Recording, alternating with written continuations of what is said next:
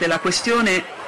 dei precari RAI in qualche maniera, quindi di questa massa di, di, fantasmi che circolano in un'azienda, non tutti politicizzati ma anche qualcuno che tiene in piedi il programma e non si capisce il perché. E poi chiederò a Vinicio invece di fare il punto su quello che ha chiesto il Signore, cioè di rendere la RAI il motore della, diciamo, del, dello sviluppo dell'audiovisivo in Italia. Sì, grazie. Ma io questo tema, Elena, l'ho citato anche all'inizio dell'intervento perché è un tema che sento molto e poi devo dire su questo tema molto sta, eh, sta facendo il circo del PD Rai. E con anche su questo ehm, fare in modo che questo tema emerga perché noi abbiamo eh, questo è il tema degli invisibili che in Italia sono un'enormità e sono un'enormità anche gli invisibili che stanno in RAI. Eh, quindi eh, eh, senza riconoscimento professionale, eh, senza, senza, alcuna certezza, mh, sottoposti a, a, a molte vessazioni, si scaricano su di loro due cose la questione del, di un mercato del lavoro nostro che non funziona, intanto, e che scarica, quindi su, queste, su, su questo, espone questo segmento eh, continuamente. E molto spesso appunto stiamo parlando di tipologie,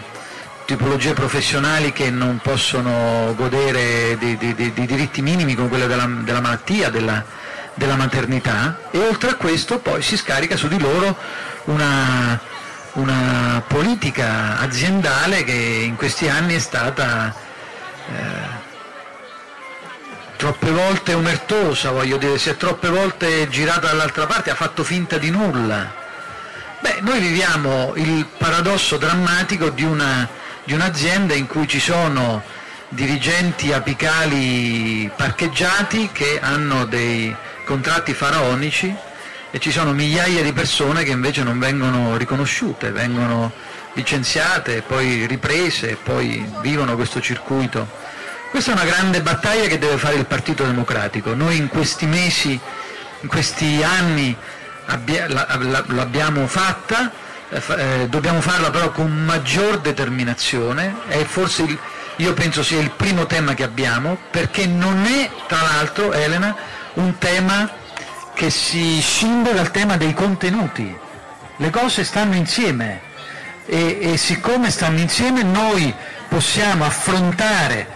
in maniera forte, eh, coraggiosa il tema dei contenuti, chiamando nuovamente ad un concorso di idee, a raccolta le migliori energie di questo nostro Paese, se quelle energie di questo nostro Paese noi non le mortifichiamo noi le mettiamo in condizione di esprimersi per quello che hanno e non mortifichiamo invece eh, progetti, talenti.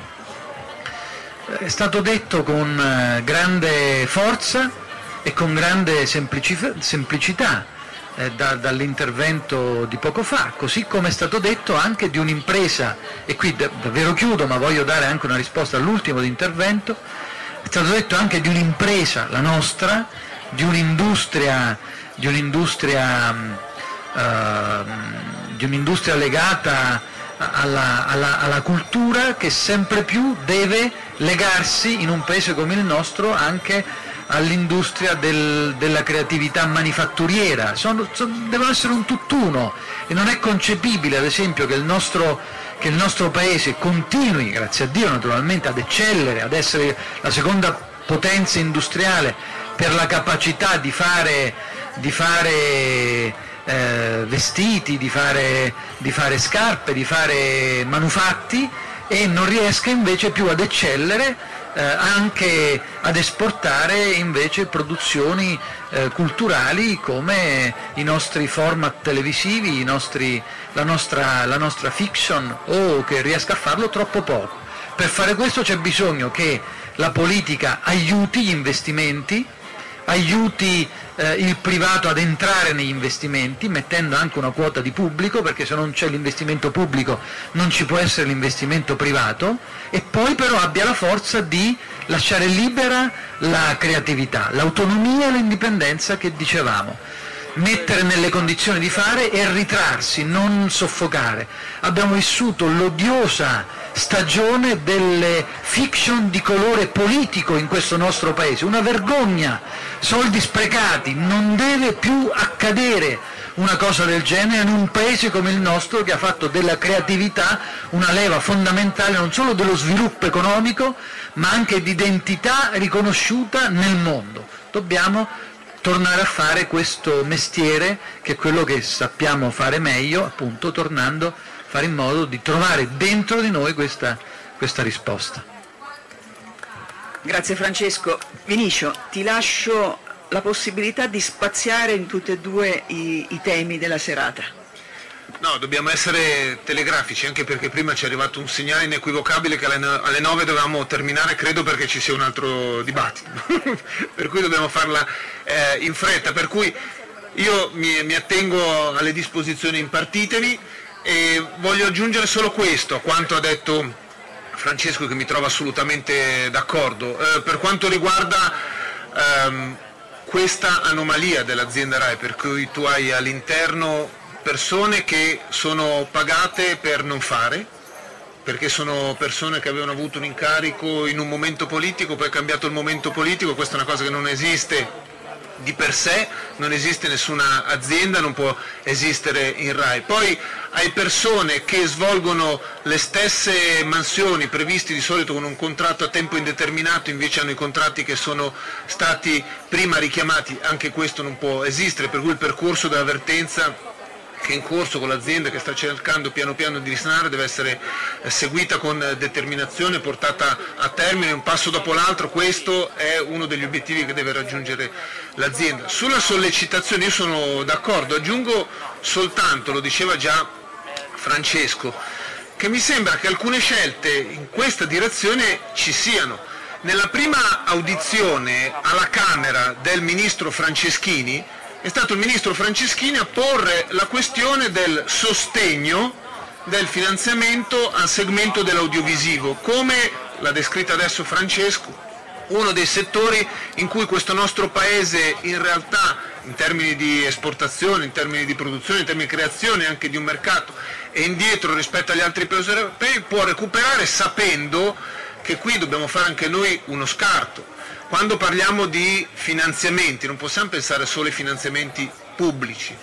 deve essere ovvio una parte di finanziamento pubblico, ma ormai l'elemento essenziale è quello di riuscire a fare volano per investimenti privati. Questo vale per le politiche industriali, questo è il paese dove negli ultimi vent'anni eh, le politiche industriali sono state dimenticate, spesso la discussione, io sono una commissione attività produttiva anche, vengo da un territorio della provincia di Milano dove abbiamo sempre fatto andare le mani, avevamo le grandi aziende chimiche, le grandi aziende metalmeccaniche, automobilistiche che non ci sono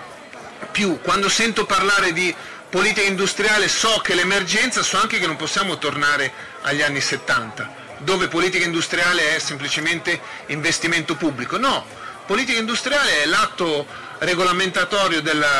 dello Stato, che è fondamentale, è individuare le priorità di intervento, è capitale di investimento pubblico, ma soprattutto è volano con investimenti privati. Questo è quello che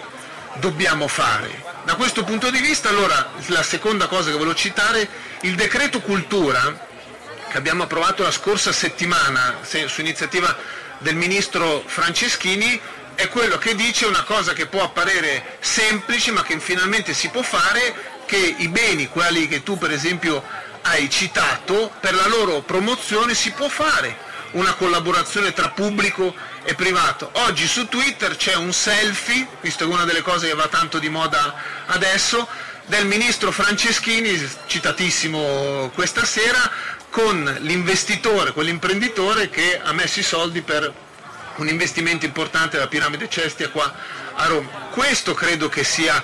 l'ambito. quello de- della creazione di nuovi mercati e della capacità di fare sinergia tra pubblico e privato, mettendo in evidenza quel bene che indiscutibil- indiscutibil- indiscutibilmente abbiamo nel nostro paese che non c'è da uh, altre parti. Quindi credo che sia questo. Finisco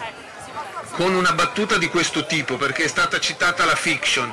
Oggi ho visto sulle agenzie è partito un dibattito perché il direttore generale Gubitosi stamattina ha detto che la RAI deve avere il compito di non promuovere delle fiction che parlano della criminalità organizzata quasi in maniera positiva, perché rischia di diventare il componente della banda della Magliana un esempio positivo, quindi il riferimento al romanzo criminale, il riferimento a Gomorra, il riferimento alla concorrenza. Non so se questo è il tipo di dibattito che si deve fare. Io ho l'impressione che quel tipo di prodotto, Gomorra è stato venduto in tutto il mondo, in realtà è stato venduto perché racconta e aiuta a capire in giro per il mondo una realtà che altrimenti è difficile da comprendere, quindi forse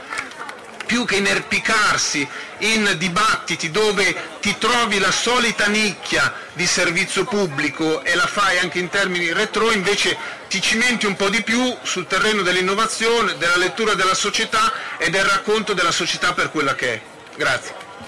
Ma grazie a voi. Allora, io ringrazio Francesco Verducci e Vinicio Peruff del, della Commissione di Vigilanza, devo dire un dibattito veramente molto denso, ma soprattutto io faccio, eh, ma soprattutto io faccio in bocca al lupo al Partito Democratico perché riesca veramente a essere il, il volano di questa riforma della RAI e, e, mi raccomando a voi che siete i primi attori in campo. Grazie a tutti Grazie. e buonasera. Grazie. Brava Elena. No, figurate.